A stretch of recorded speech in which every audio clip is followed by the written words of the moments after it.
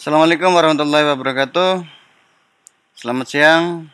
Hari ini Rabu tanggal 11 Desember tahun 2019 Oke jadi Hari Rabu ini bagi saya cukup spesial. Ini khusus bagi seller Lazada bagi yang jualan di Lazada, hari Rabu itu hari yang cukup spesial. Kenapa? Karena hari Rabu adalah jadwalnya terima transferan atau jadwalnya terima hasil jualan. Nah, di video kali ini saya akan berbagi tips, berbagi pengalaman bagaimana cara nabung ala penjual Lazada. Seperti apa videonya? Yuk tonton video ini sampai habis.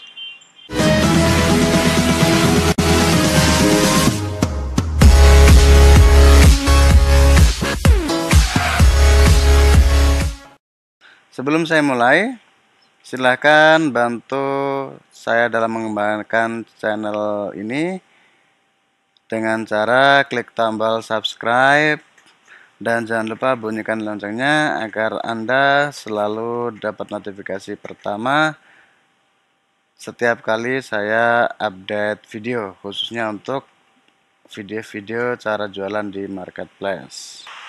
Kenapa saya tiba-tiba ingin buat video ini? Ini pengalaman saya yang udah jualan beberapa tahun tapi nggak pernah punya tabungan nggak pernah punya simpenan. Asal jangan simpenan wanita loh ya nggak pernah punya uang eh, yang ngendap bukan ngendap dalam artian gimana ya nggak pernah punya uang ya minimal dana darurat lah. Jadi ketika kita anak kita tiba-tiba sakit atau ini nggak diminta ya tiba-tiba ada orang tua ngapain atau kita lagi pengen sesuatu dan dananya cakap banget kita nggak punya tabungan nah, akhirnya saya cari cara bagaimana biar saya bisa rutin nabung Oke, seperti apa? Jadi gini.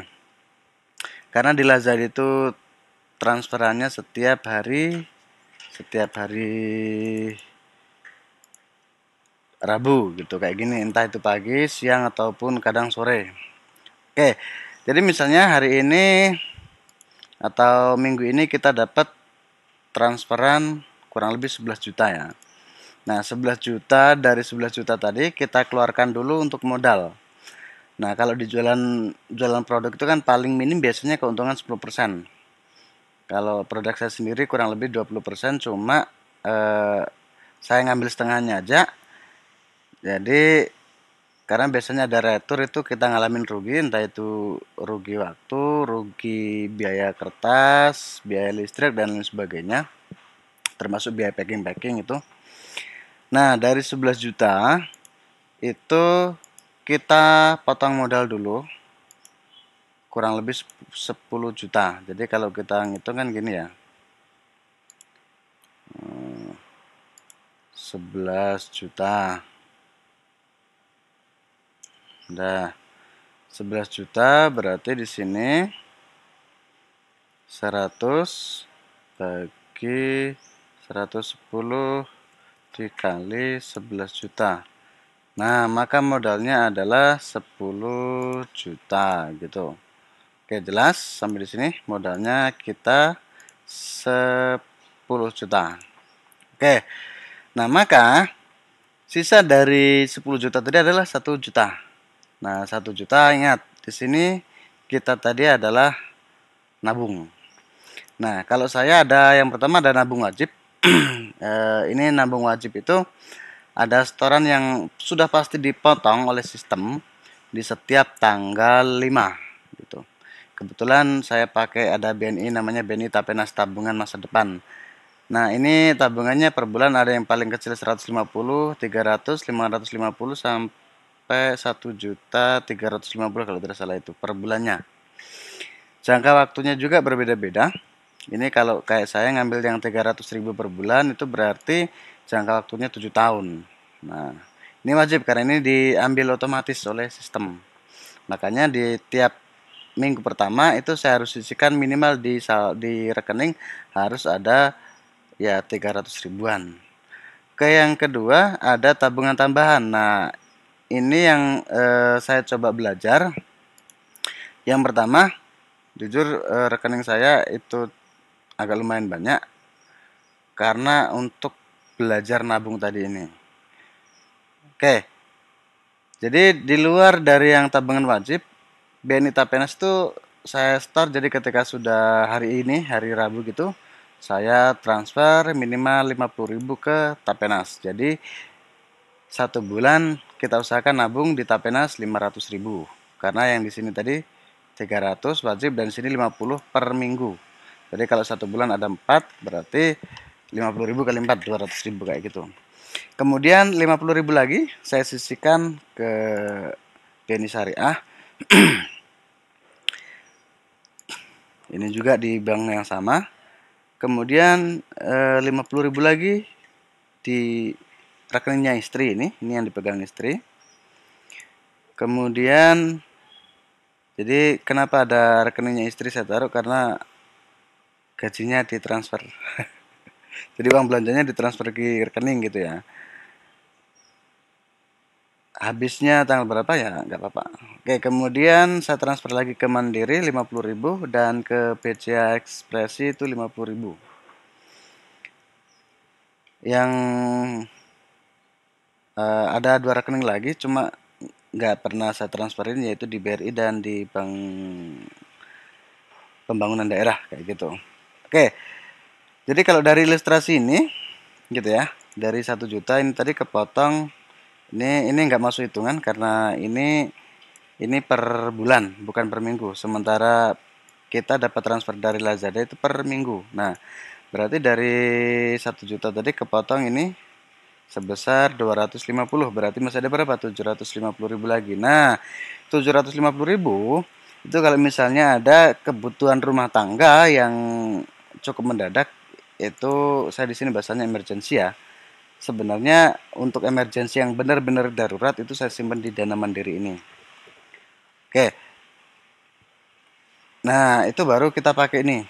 Kemudian kalau masih ada sisa lagi, kita alihkan ke produk, kita belikan produk lagi. Jadi bukan produknya bukan senilai 10 juta, tapi senilai lebih dari 10 juta. Misalnya kalau di sini emergensinya pakai berapa misalnya di 250 biar gampang hitungnya ya. Nah berarti di produk kita bisa nyisikan sebesar 500 ribu. Gitu. jadi nanti produknya kita bukan 10 juta tapi 10 juta 500 kayak gitu. Oke sekarang kita coba hitung-hitungan. Kalau kita nabung model kayak gini sebenarnya seberapa besar sih? Ya, tentunya nggak terlalu besar ya karena kita nyimpennya per minggu cuma 50 ribu gitu Nah, kayak kayak gini. Tadi kan tabungan wajib 300.000 per bulan. Nah, ini jadi satu bulan dia tetap 300.000. Nah, yang tadi saat dari per minggu dari beberapa rekening ini 1 2 3 4 5 ini jujur saya biasanya kadang 4 kadang 5 nggak nggak pasti gitu tapi insya Allah rutin pasti saya setorin minimal 3 sampai 4 e, rekening. Oke, kalau kita rutin di 5 rekening setiap minggunya berarti dalam satu bulan kita bisa nyisihin 300 ribu ditambah 1 juta berarti 1 juta 300 per bulan. Nah, selama setahun itu kurang lebih 15 juta 600 dan selama lima tahun kurang lebih 70 78 juta. Nah, eh, kenapa saya bagi-bagi kayak gini? Jujur ini di masing-masing rekening itu punya tujuan yang sedikit berbeda. Contoh ada di Tapenas, Tapenas ini sebenarnya tujuannya adalah untuk ngeklopin eh, setoran haji kayak gitu. Jadi udah dapat nomor porsi kita tinggal apa namanya ngumpulin untuk pelunasannya gitu. nah sisanya untuk dana darurat dan ya kurang lebih dana pendidikan lah ya. Oke. Jadi kurang lebih itu cara nabung ala Masdar. Karena gini bagi saya sebenarnya setelah saya belajar dari beberapa video bukan seberapa besar penghasilanmu tapi seberapa rutin kamu nabung gitu ya. Oke tentu saja ini masih ada yang kurang dari pengeluaran ini dari tiga ini. Nah di sini tentunya ada eh, satu lagi yaitu jangan lupa untuk infak. Infak ini ya boleh kalau infak wajib berarti untuk zakat. Kalau infak sunnah berarti itu sedekah kayak gitu. Oke untuk za infaknya saya sarankan minimal minimal kalau zakat itu wajibnya kan dua setengah persen ya. Kalau bisa untuk infak eh, 10% lah 10% dari penghasilan bahkan ada yang menyerahkan sampai 20% nah kalau ini tadi kita keuntungannya 1 juta berarti 1 juta kali 10% itu dapatnya 100 ribu rupiah. Berarti untuk produknya kita kurangi jadi 400 ribu rupiah kayak gitu. Oke. Jadi itu. Mudah-mudahan video ini bisa menginspirasi teman-teman. Jika ada yang perlu ditanyakan uh, masih bingung kenapa harus begini, silahkan tinggalkan kolom tinggalkan komentarnya di bawah. Dan jangan lupa bantu saya mengembangkan channel ini dengan cara subscribe, like, share, dan komentar di channel ini. Oke, terima kasih. Mudah-mudahan video ini bermanfaat. Saya doakan rezeki Anda makin bertambah, berlimpah, bermanfaat, dan yang paling penting rizkinya berkah. Amin.